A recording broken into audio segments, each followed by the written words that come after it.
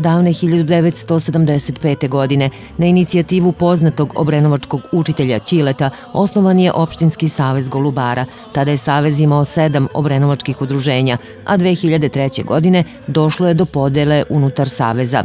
U petak uveče, četiri decenije od osnivanja, obeležili su golubari koji su i dan danas članovi Opštinskog saveza. Imamo 340 udruženih članica Saveza. Takmičimo se cele godine od 1. maja do 1. oktobra. Imamo dosta zavidnih rezultata. Naši takmičari sa teritorije opštine su učestvali 99 takmičenja i ostvarili 56 rezultata u okviru opštine i u okviru viših saveza. Iako ćete u golubarnicima u Obrenovcu naći najrazličitije rase golubova, jedna je najpopularnija. Pa to su golubovi srpski visokoletači, koji lete, standard goluba je 4 sata, a lete do 16 časova. Znači, izuzetni primjerci lete dok traje obdanica. Obrenovac je od uvek bio poznat po vrstnim golubarima, a među njima su vremešni obrenovčani koji su ljubav prema golubarstvu preneli na mlađe generacije.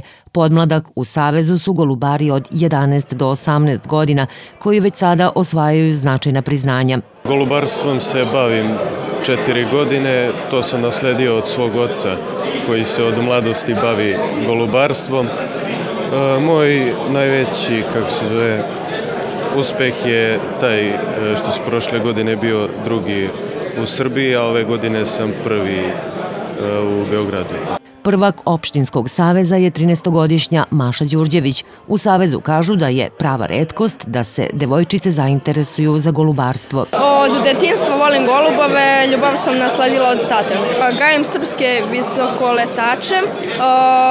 Bila sam prvak opštine Obrenovac i prvak kupa opštine Obrenovac. Sudeći po velikom broju priznanja, ova godina za golubare je bila uspešna, uprkos činjenici da je u poplavi 2014. stradalo dosta golubarnika. Na obeležavanju četiri decenije Opštinskog saveza podeljeno je 100 pehara i još toliko priznanja.